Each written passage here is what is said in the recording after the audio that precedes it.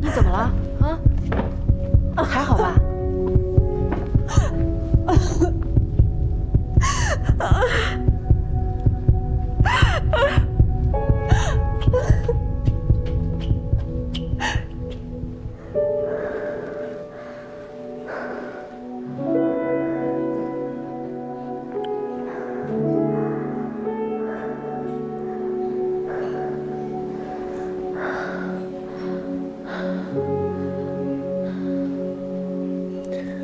点了吗？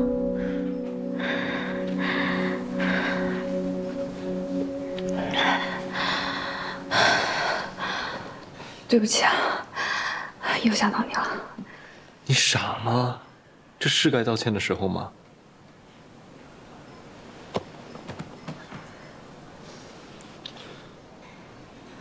之前也没有这么严重，怎么今天突然又这样了？医生说，我这个病啊，它是有可能会变严重一点的。但我平时都没事的，你不要担心我。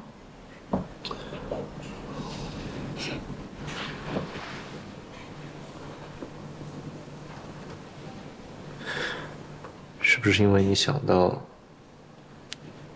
我要离开，所以就……不是，你不要想那些。我是因为叶总突然离开公司了嘛，然后他就把好多工作堆到我这儿来了，我一个人哪应付得了啊？加上我妈她又喜欢唠叨我，啊，我就觉得头好大。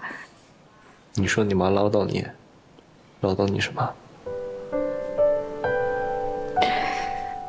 他就问了我，咱俩对未来有什么打算？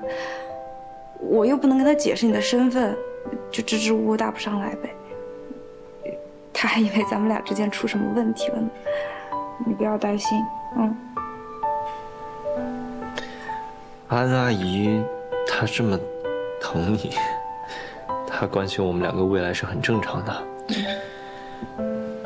我会找一个合适的时间，把这一切都跟她说明了。没事的，你不要想这么多。知道。